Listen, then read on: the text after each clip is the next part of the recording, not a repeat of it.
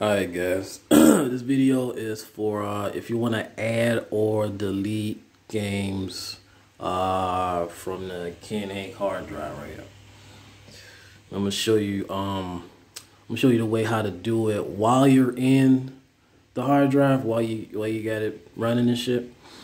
I'm gonna show you how to do it that way. Next video, I'm gonna show you how to do it from the Windows way. If you just you just got the computer plugged up and shit, and you ain't got the hard drive running. So, all right, this this is the fastest way to do it. It's gonna be quick.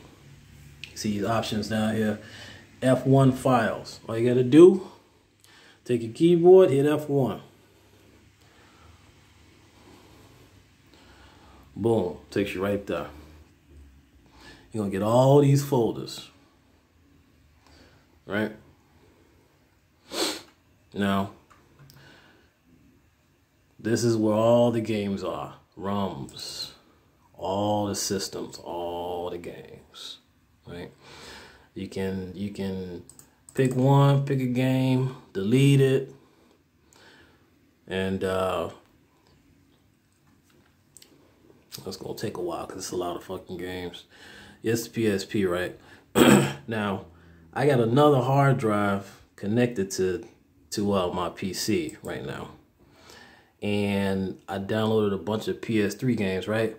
So what I did was I took all of these, all the ones that I downloaded, moved it right to my Kinhank hard drive. This is right here. This is all Kinhank right here. This is my ROMs folder. PS3, let me find that. See, that's all the games.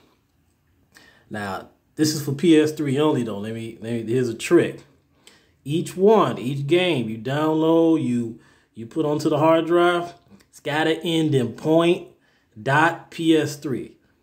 It's got to be dot PS3. Dot PS3. Otherwise, it won't run.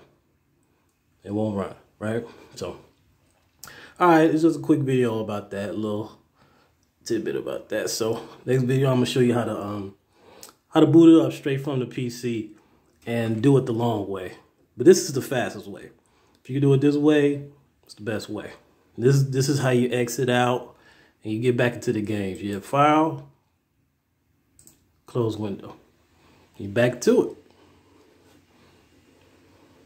it. All right, just hit F1.